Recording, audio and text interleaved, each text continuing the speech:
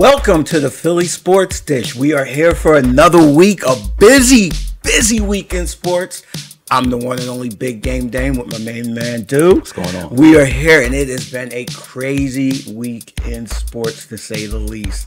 So you know what? Let's let's just get into it. Let's not waste any time. Let's start off. We're gonna go national before we go into the Philadelphia stuff. NBA free agency. What a week! What a week! Um, let me just get your overall reaction. Just what what are some things that really stood out to you that happened? Uh, what, what stood out to me most is the Miami Heat. Uh, Yeah. I think they definitely won free agency. I love the moves they made. Uh, PJ Tucker, the the sign and trade with Lowry. Um, yeah, they they may have leapfrog the Sixers. Yeah, that's what I was going to ask you. Has the balance of power? I I don't really. Has the we'll put it this way: Has the balance of power shifted in the East? Is it? Do we reshuffle the top teams now? Um, I don't know if reshuffle is the word. I think is Brooklyn clearly is still the top dog, and then I think the um the next three Milwaukee, Philly, Miami, you know, somewhere that they're going to finish two, three, four. So, but I, I still think Brooklyn is clearly the standard. Yeah, and I'll have a follow up question for you in a second about where the Sixers fit in and all this. But anything else? That's, Uh, of course, the Lakers. yeah, we got to uh, talk about the Lakers. I, I think a couple weeks ago we talked about this when we were talking about the Sixers, and I was like, the Lakers aren't going to stay in pack. Yeah. You know, the Lakers are going to make moves. So your reaction to what the Lakers did? Um, believe it or not, I'm not as giddy as everybody else. I don't think you know. Go ahead and give them the ring or. Yeah, you know, Lakers fans get themselves the championship every year. So I, I don't think you know Malik Monk is going to take you over the top or whatever. but what they did was great. Like they made a lot of good moves. They're they're definitely uh, one of the few teams that should be having championship aspirations. So I'll put it like this: they're better now than they were at the end of last season. I remember we were talking about star power, Mm. star power, and that's what wins. That's what gets over in the NBA. And you know, that's one of the things I think you saw with free agency is everybody star shopping, Yes, except for one team. We'll talk about that in a second. yes. Um, yeah, free agency. It was just it was a whirlwind. It was like every five minutes, it seemed like somebody was signing. and Uh, talk about being surprised. Norman Powell, ninety million from Portland, five years. I was like. Yo, I give my son a basketball now, man. No, Just hey, Norman, any- you got your money, but man, anybody named Norman Powell making ninety million dollars, I'm like, yo, for real?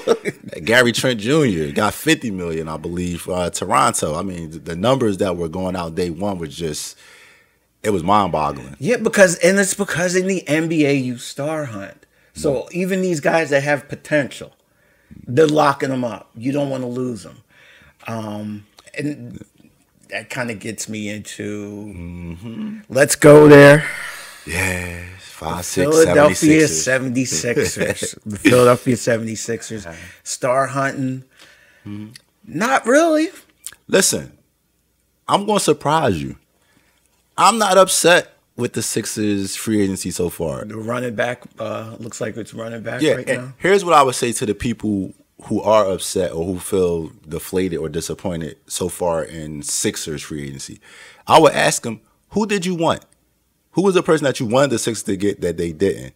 I'll speak for myself. It was two players that I had my eye on that the Sixers didn't get either, which was PJ Tucker. He went to Miami. I mean, I can understand that.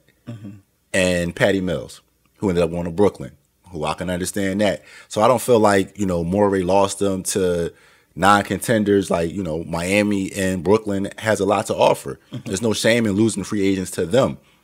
So besides that, um, I wasn't really um, desperate for Kyle Lowry. I mean, I would have took him, Yeah. you know, but it wasn't like, oh man, it's Kyle Lowry or bust. Because for me, Kyle Lowry meant no Lillard. Now Yeah. we may not, we still may not get him, but I feel like that would have closed the door on that. So for me, this is what I say to Sixers fan. Who, who who was it that you wanted? Like, why are you so upset? Why are you disappointed in free agency?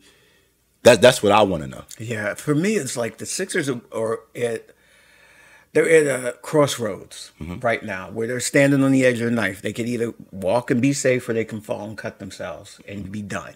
Okay, um, they have to make the right move. And a lot of it, honestly, is psychological with their stars. You know, we talked about star hunting earlier.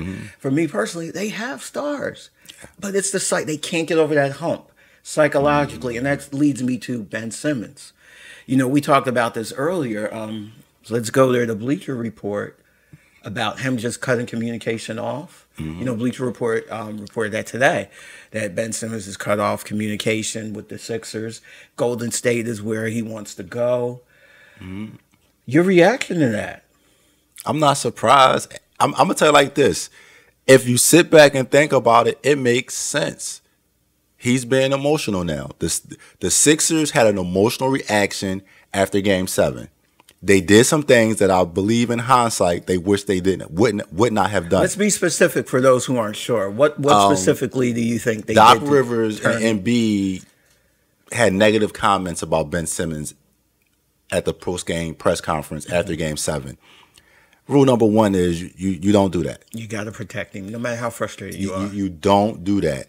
And he's allowed to be upset about that. He has a right to be upset because he hasn't thrown Doc Rivers under the bus. He hasn't thrown Embiid under the bus. And even though Embiid threw himself under the bus also, you, it's certain things you don't do. So is Ben Simmons being mature? I think most people would say no. But is he being emotional and he has a right to be emotional right now? Absolutely. Absolutely. When you when, when the best player on the team throws you under the bus, when the coach says, I don't know if we can win with him playing point guard, me personally, if he didn't respond this way, I would be a little upset. Yeah.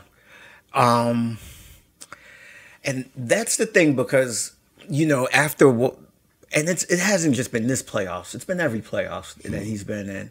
And you know they're expressing their frustration. He expresses obviously he's expressing his frustration by not even communicating with mm-hmm. them. Okay? So can this be saved? We talked about this earlier, but mm-hmm. now with these reports coming out about the lack of Yes. Can it be saved? Absolutely, it can be saved. And after reading the Bleacher Report, I'm more. I, I want him back even more now. it shows you anger, it shows you fire. Yeah, I I think you know this is it. If if he don't come back angry, as you said, with fire, like okay, this is what y'all think, then it's over. Like it- it is what it is. And and honestly, to piggyback off the free agency thing and the Sixers where they're at in the pecking order, you alluded to that you think they have stars. For them to challenge Brooklyn, Milwaukee, and Miami, one or two things have to happen. Ben Simmons has to take that leap, or the people that they get in the trade has to be able to put the Sixers over the top. yeah. That's the only way the Sixers can get out the East. Yeah, and it's I, when I said like it's a lot of it is psychological. Mm-hmm. What I mean is, and we talked about that killer instinct, you know, mm-hmm. that those great NBA players have. Do the Sixers have stars? Yes. The question is, do they have superstars? And that intangible, that next level, is what makes you a superstar. That killer mentality. Embiid likes to have fun. Mm-hmm. Kobe had fun on the court. Dame Lillard has fun on the court. But they look at it as fun as I'm going to squeeze every bit of life out of this other team. And what's the big difference? We talked about this before, where you don't have veteran leadership. So maybe if you brought a veteran in here when Embiid and Simmons was a little bit younger, Embiid doesn't make that mistake at the podium. Embiid doesn't do that because he had a veteran in here that said, look, this is the way you handle things. This is how you treat your teammates. You never air your, your, your dirty laundry out. But because you know, Embiid didn't have that because the, you know they tanked to the tenth degree. Mm-hmm. Now he he's just basically learning it on his own, and I'm pretty sure, according to the reports, Embiid wish he could have took it back, and I, mm-hmm. I've heard that he's actually tried to reach out to Ben Simmons. But at the end of the day, this is when you know if you had a like I said, a Danny Green or Dwight Howard when Embiid was younger, then maybe you don't have this misstep. Yeah, or a few two or three years ago, if you had someone like Jimmy Butler, that would have been perfect. what do I know? What do I know?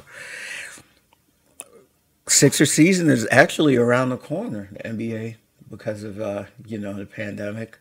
Um, I just don't know. Like, Listen, I, I at this point, I don't know with this franchise. I, I know people are going to be disappointed if they run it back. I know a lot of people want Ben Simmons gone. this is what's going to happen. If they stay status quo, the regular season is going to mean nothing to the Sixers. Everybody's at just going to wait to the playoffs. So, but like I said, I wouldn't. I'm not disappointed if he comes back. Yeah, and at this point, like you said, what can you actually do? I think the Sixers fan base, the Sixers players, everyone has emotions. You have to remove your emotions from this situation. The only emotion right now should be those players and anger and wanting to get back on that court and saying, we're going to play angry, we're going to play with a chip on our shoulder all year, and we're going to get this done. We're going to take that next step. We're going to be killers out here on the court. Joel, you got to stop having fun and start wanting to rip somebody's throat out. You know, and Ben, same thing. Too cool for school, my opinion. All right. Bring on angry Ben. Yeah, angry. You see how I'm fired up? Sixers, that's how you should be fired. Okay? Now, speaking of fire, let's go to, uh, let's transition to Philadelphia's other team that people are talking about right now, training camp, the Philadelphia Eagles. Last week we talked about the offense and we went into a lot of detail player by player, but that's because there's so much turnover on the offensive side. Not as much turnover. A couple of free agent signings, a couple of pickups, um, a couple one year deals, but the defense seems like they're more set up and experienced. So we're going to structure this by unit, okay? Okay. So last year, I think the Eagles were like fifth ranked defensive line. Their defensive line actually is ranked pretty well consistently all year. How's this defensive line looking to you? Um, it looks good. The the problem I have, and I think the problem that they always have, is just a lack of depth. And once you lose one of those starters to the inevitable injury, then that's when they start to get exposed. But if those guys can stay healthy, I think yeah, they're a top five, definitely a top ten defensive line in the NFL. They have um, with Graham, who's always underrated, but he always seems to get it, you know, make impacts. Um, the young guy Sweat is coming on good. Barnett's in a contract year, so hopefully he steps it up. Fletcher Cox, arguably the second best D tackle in, foot, in football. So the problem is there's nothing behind that. Yeah, the health. Yeah, so- the health factor comes in. And as we know here, like it's just something in the water. You just you can't stay healthy. So Yeah, may, I don't know. Maybe new coach. Maybe yeah, hopefully. That's how I want them to go back to the Kelly Green. They didn't get banged up this bad. Were. Midnight Green is just you just get injured wearing Midnight Green or something. But it's just I like Sweat. Mm-hmm. I think this is this is going to be his breakthrough year. I love how he like you know like just how his his motor. You can just tell. You know, you can just tell guy, and it takes these guys, these pass rushers, sometimes a couple years to come on. Look at Brandon Graham. yeah. So I think Sweat, this might be his breakthrough year. Um, are there any of the young guys on the defensive line that kind of stick out to you, or is it just No. they're No. just I- I'm I'm waiting. Hopefully, because of you know the track record of the veterans, maybe these one of these young guys can step up and surprise us because they're not being game plan for, and somebody might break through. But right now, if you asking me, am I expecting that? No. yeah? It's interesting because the offensive line and defensive line is so similar. Yes, right now they're so similar. It's very Yes. good, top five if they stay healthy. Now, let's get into this group. Mm-hmm. Very interesting group, possible breakthrough player on this group. Mm-hmm. Um, Eagles linebackers. Listen, why should I care about linebackers if the Eagles don't? they spent a third round pick last year. Everyone's buzzing about this pick. Hey, He's a great athlete. Everyone's saying he's all over the place. Listen, We're talking about uh, Davion. Listen, Taylor. I'll, I'll believe it when I see it. Their their track record is they don't value linebackers. I, I and it, so that's where I'm at with it. If, Since if Jeff Lurie's been here, honestly. so, you know, if, if you're telling me, I'll listen to your opinion, but I'm telling you, I have no expectation for these linebackers. Every time you get excited about a linebacker. You, you get your heart broke. So since Carlos Emmons, that's the last one. Los- Los was the last so one. So I'll I'll let you uh, have some uh, faith in the linebackers. I I'm seeing this. play. I haven't been an Eagles fan my whole life since Uh. since Jeff Lurie's been here. Since they speaking of midnight green, since they've been wearing that midnight green, the linebackers are just it's a revolving door, and you see that you know a couple of the free agents they picked up, you know, one year deals, you know. So how about this one? Uh, this I think this is where the most chatter comes from the Eagles secondary. Um, to me, you can talk about the rookie. You can talk about Nelson getting picked up in free agency. It all comes down to Slay. Can Slay be a lockdown corner and you know take the other team best receiver away. If, if Slay, I I think Slay would tell you he could have played better last year. Yeah. and probably with so much going on, I'm not even gonna hold it against him. Yeah, they treated. They were acting like he was Darrelle Revis. Yeah, if, if Slay, fair to him. yeah, if Slay could be the Slay we saw in Detroit, then this this, this secondary will be good. Um, I like Nelson. I think that's a he's he's a solid Yeah, veteran. solid. Um, I like kicking Maddox back into the inside. That's where he belongs. Um, I like the safeties. Um, I know uh, I think McLeod coming off the injury, so you know you got to cross your fingers with him. But if he can get back to his form, I like the secondary. Mm-hmm. If McLeod, I'm sorry, if Slay is a, if Slay is a Pro Bowler, then look out. Yeah. Yes. And you know, we were talking about um, off camera. Uh, Zech McPhearson, he's getting a lot of buzz. he's you're- the Camp Darling right now on defense. Every year there's a Camp Darling. You're high on him. Fourth round pick. yeah, so he's been everywhere. We want to just name drop him in there since everyone's, you know, been going crazy about him. So just name drop just in case he blows up. We did bring it up, you know. So he's one to look for when you check out those preseason games starting next week, okay? So next week when we do the preseason and we uh, go over it, we'll break it down by quarter because there'll be different units in each quarter, obviously. So Okay. we'll look we'll focus on each unit that way, quarter one, quarter two, quarter three, quarter four. No Okay? problem. Okay. All right. So wrapping things up, let's do closing thoughts for this week. Any closing thoughts? Anything that kind of stood out to you? I have a shout out. Um, so anything that just stood out to you, you want to close with for this week? Um, I want to uh, piggyback off something I said earlier, where to Sixer fans, take a breath, relax. Let's watch this thing play out. Like I said, I don't think the Sixers missed out on anybody that was, you know, going to take you over the top. Let's see what happens with this Lillard thing, because the worst thing you can do is do something now and not be able to get Lillard later. So for me, it's Lillard or welcome back, Ben. Yeah. And for me, I, I'm going to kind of split it in half. I think right now, with all Philadelphia teams, well, maybe the exception of the Phillies, it's really important for the fan base just to be patient. And that's the one thing that Philadelphia kind of struggles with, you know, and we know why. And the Eagles need to start wearing their Kelly Green uniforms. So, and one last thing, I just found out, we're shooting this on a Thursday. One of my favorite wrestlers, beautiful Bobby Eaton of the Midnight Express, passed away. So I love wrestling, old wrestling, not this new garbage.